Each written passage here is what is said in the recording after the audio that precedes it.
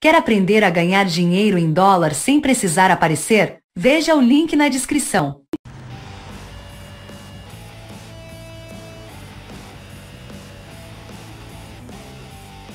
Oi, como vai? Oi, e aí, tudo bem? Tudo legal. Todo dia recebo milhares de ligações e uma delas hoje foi sobre o Merc 51. Esse é o carro dos sonhos de todo colecionador. Eu adoro LED Sleeds antigos. São os mais legais de todos. Eu vendo o carro meu para comprar esse se for o carro certo. Onde conseguiu isso? Eu dirigi ele até a Califórnia. Legal. Eu dei sorte, mas eu tenho medo de dirigir esse carro. É muito bonito. Tô querendo vender meu Mercury 51, que foi customizado. É super divertido de dirigir, mas eu acho que agora pode ser hora de começar um projeto novo. Eu tô pedindo 30 mil dólares pelo carro, que eu acho que é um preço razoável. O preço mais baixo que eu tô disposto a aceitar é 23 mil. Isso é animal.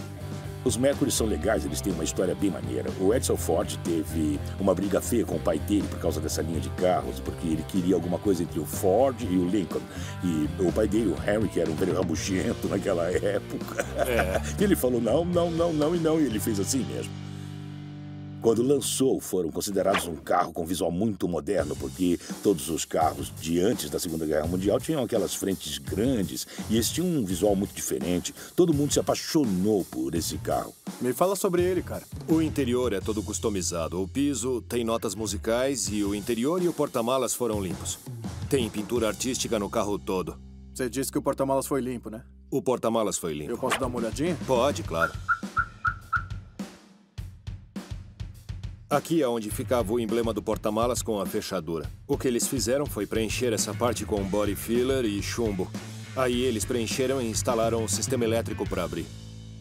Pode ligar? O som tá limpo. Não tá falhando. Não, não tá engasgando nem nada. É. Legal, então. A pergunta é de 64 mil dólares. Quanto você quer por ele? Metade disso. É sério. Eu Tá acho bom. que eu ficaria muito feliz com 30. Tá legal. Ah, deixa eu chamar um cara. Olha, minha preocupação principal com isso são as quatro portas. Se fosse 30 mil por um Merc 51 duas portas, nesse estado, eu nem reclamaria. Te daria o dinheiro e pronto, mas as quatro portas me preocupam. Não importa o quão descolado você se acha, é muito difícil deixar um quatro portas descolado. Meu pai dirigia em quatro portas. É carro de família. Tudo bem se chamar um cara pra vir aqui? Claro, tranquilo. Pode Me dá uns chamar minutos sim. que eu vou até o meu carro ligar pra ele. Eu acho que ter um especialista aqui vai ser bom. Eu sei que por ser quatro portas o valor muda, mas eu sei que é um carro muito bom. Hoje eu e o Corey viemos ver um Merc 51. O mais legal dos Lady Sleds. O cara tá pedindo 30 mil dólares pelo carro, então eu chamei o Bill. E aí, pessoal? E aí, como é que tá? Merc 51. É verdade. Esse é dos grandes. Vamos dar uma olhada, vai. As maçanetas foram removidas, o para-choque é original, lataria praticamente original, do aço ao cromo. Vamos dar uma volta com ele. Manda ver, divirtam-se. Geralmente nem olharia um carro assim de quatro portas, mas é um Mercury 51, hein? Então eu tenho que pelo menos fazer um test drive pra ver como roda. Vamos lá. Tá, o carro é legal, né? Opa! o cara tem folga nessa direção. Esse carrinho é legal, hein? Ele roda como um Merc 51. Não é uma máquina de performance, é de passeio. Quando dizem que é como pilotar um barco, não é mentira. Quando eu era moleque, a moda era dar uma volta na Fremont Street. Ah, é. Porque Quantos anos eu- tem? Eu não sou tão velho que nem você, ô. tiozão. Olha, eu entendo porque as pessoas queriam desse. Quanto você acha que vale? Bom, essa é a pergunta de um milhão de dólares.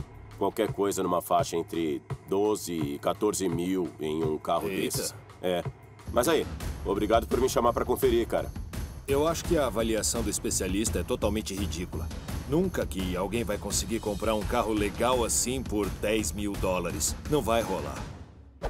A questão, cara, é que é um carro muito legal. Mas como eu disse, tem quatro portas e isso me preocupa. Então, sei lá, esse é o seu preço final? Eu paguei quase o dobro do preço que Ah. ele falou. Do, dou 10 mil por ele.